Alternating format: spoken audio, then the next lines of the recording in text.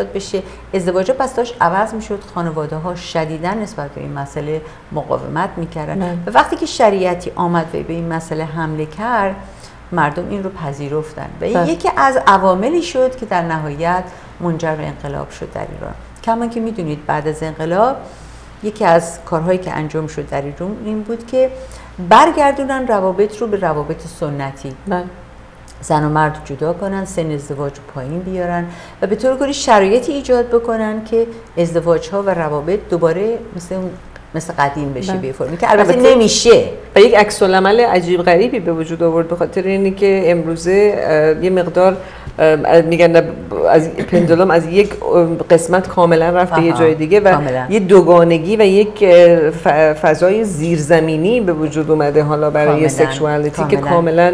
متفاوته یعنی دوباره این تضاد دوگانگی دروغ ها خودشو نشون میده و جالبه که من برای اولین بار شاید در دهه اخیر دو سه تا مورد خیلی خیلی زیادی رو دارم می‌بینم. یک مورد به خصوصی که خانوم ها تشویش و التهابشون راجع به ازدواج و بارداری خیلی زیادتر شده به خاطر اینه که کسانی که دانشگاه رفتن کسانی که شروع کردن به کار کردن و خودشون یا از فضای عکس العمل یا انتخابشون به هر صورت دیرتر و دیرتر شروع کردن به.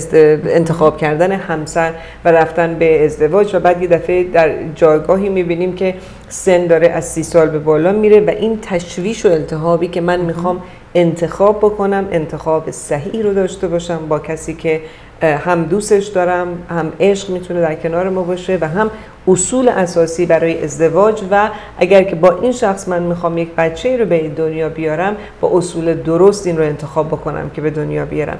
این یک قسمت از التهاب خیلی زیادیه که من اخیرا در خانم های ایرانی بیشتر و بیشتر دارم می‌بینم.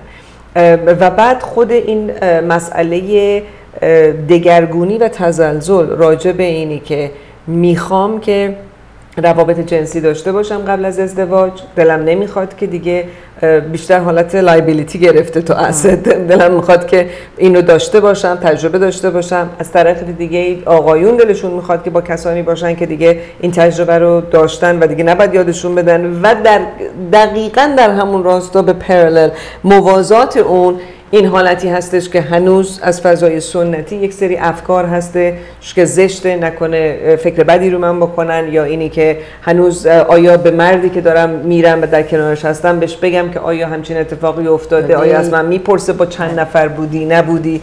و تمام این تزلزل هایی رو تزلزل های جدیدی رو اصلا conversation discourse جدیدی رو در تزلزل تشویش و التهاب به وجود آورده برای به خانم ها در حقیقت. کاملا. مثلا یک نمونهش فرض کنید مسئله بکارته. بله. شما وقتی نگاه می‌کنید به اواسط قرن 19 هم می‌بینید که خب جراحی های مخصوص ترمیم بکارت وجود داشته اون زمان.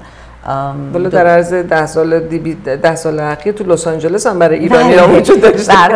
قواصد قرن ولی اون موقع کسی که به اصطلاح بکارت ترمیم می‌کرده معمولا دختر بچی بوده که احتمالاً بهش تجاوز شده بوده در خانواده و حالا می‌خواستن شوهرش بدن و خانواده این کارو می‌کرد برای اینکه اون تجاوز رو به اصطلاح بپوشونه. بعد مثلا 100 سال بعد که میایم نگاه می‌کنیم قبل از انقلاب باز ببینیم که این جراحی به صورتی که از به اصطلاح مهمترین جراحی هاست به اصطلاح روانشناسا و دکترها و مردم شناسایی که من کاراشون رو نگاه می‌کنم. در مورد یکی از محبوب ترین نوعهای عمل جراحی در ایران صحبت می‌کنن. بله. منظورم قبل از انقلابه. البته در شهرهای بزرگ. ولی باز اینجا به اون فرمی که دختر جوانی خانم جوانی حالا در محل کارش شاید مثلا کسی رو دیده همکارش بوده یا به اصطلاح اربابش بوده سر کار و به امید اینکه باش ازدواج کنه رابطه جنسی داشته و حالا ازدواج نشده و حالا شدیدا به اصطلاح متاسف از این جریان و ترمیم بکارت رو به این منظور انجام میده که کسی نفهمه و بتونه ازدواج کنه با یه مرد دیگه. ولی حالا به نظر میاد که یه پدیده دیگری هست و اونم اینه که دخترای جوان با علم به این موضوع که این کسی که باش رابطه جنسی داره ممکنه باش هرگز ازدواج نکنه می‌خوان رابطه جنسی داشته باشن. دقیقاً. و دقیقاً بعد وقت اون بحثی که میشه که شما میگین در وبلاگ ها که حالا من به این مرد بگم یا نگم با اون کسی که می‌خوام باش به اصطلاح آمده خواستگاری به هر فرم بگم یا نگم و این تشویشش رو و من فکر می‌کنم پاسخ این به دست مردای ایرانی باز میشه و نه زنان ایرانی مردای ایرانیه که باید بیان و بگن که این مسئله مهم نیست. بله. و همیشه که گفتم این ریشش برمیگرده به اون مسئله نجاست و تهارت در فرهنگ ما. و یک حالتی رو که من فکر می‌کنم حتی مالک بودن. یعنی این قسمت مالک بودن مرد در بر روی زن خیلی این مسئله رو در بر بگیره من واقعا ازتون ممنونم. افتخار بسیار بزرگی بود. هم آشنایی و آشنا شدم باتون همینی که لطف کردین در این برنامه محبت کردین.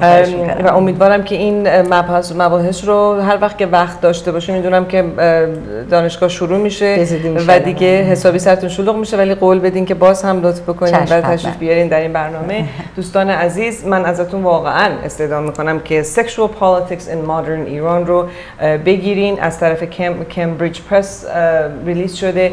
Amazon.com تمام بارنز نوبل جاهای مختلف خواهند شرکت کتابم داره. بله داره. و انشالله خیلی زود امید امیدوارم به اینکه به فارسی هم ترجمه بشه. برای شما دوستانی که انگلیسی براتون مشکل هست که بخونین. سمینار یک شنبه 13 سپتامبر ساعت یک تا پنج بعد از ظهر پرورش سالم نوجوانان در UCLA خواهد بود. امیدواریم که اونجا شما رو ببینیم. ممنونیم که با ما بودید. هفته آینده دوباره در کنار شما خواهیم بود. روز و شبتون خوش. من خیلی کردیم از